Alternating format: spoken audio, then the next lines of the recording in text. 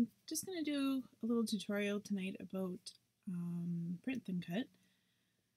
Um, still seeing a few questions coming up on the groups. Um, trying to figure out why they're getting blurry edges around images, why their text is blurry. So we're just going to talk real quick about that.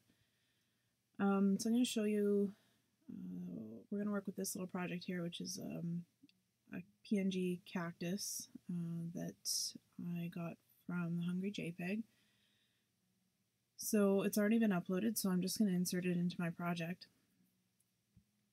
Um, it's going to be pretty big here. So I'm just going to make it smaller. So as you can see, um, you can see the grid through this image. So what that means is that the Cricut would cut around all of the lines, all of these little spaces, all of these little lines here. So if we were to cut this the way it is, it looks fine here. But as we move on to print it,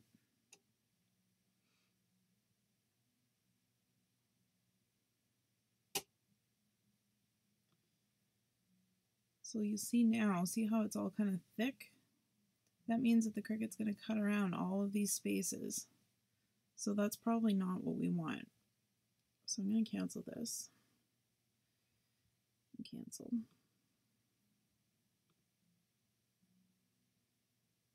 So we're going to go back to this original image. So what I want to do is I, I want to put a background behind this image to make it solid. So by doing that, once it's solid, it's only going to cut around the outside, which is exactly what we want. So this is really important if you've got text in here, um, because otherwise the way we had it before, all that text would cut out as well. We see people all the time that, you know, they're panicking because their letters are all blurry here. So we're just going to go ahead and add some text. So we'll just put uh, looking sharp. Okay, oops. And we'll bring it up.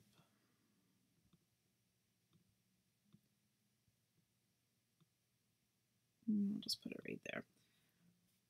Okay, so what we're going to do is we're just going to grab just the cactus and duplicate it. So now we've got a copy of it. So I'm going to go over here in Layers panel and change it to a cut. So now you see how it's lost the color and it's just gray. So now we're going to go down here to contour. Now this is what's so great about um, DS3. Uh, the old version, what we would have had to do is pick every single one of these little things, click on it, turn it off. With new DS3, all I have to do is hit a hide all contours and it's done. So we'll just exit out. And now as you can see, I have a solid shape here now. So when I go to place this behind,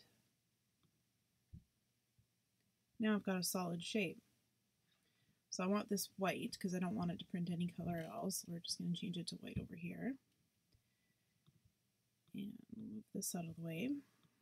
And drag a box around to select them both and just center just so they're all lined up all nice and neat. So now, you know, it looks a lot like what we had before, but you can see that there's no grid behind it. So I'm going to put this back, oops, this back into place. And then I'm going to select all and flatten. So now you can see over here, there's only one image. There isn't the three layers like there was before. See, before there was all three layers. So that means that this is going to cut all in one shape, so it'll just cut the outline. So we'll go have a look over here again. Looks good. Continue on. And we'll send it to the printer.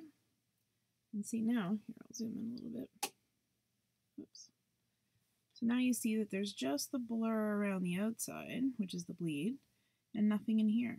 So that's perfect. That's exactly what we want.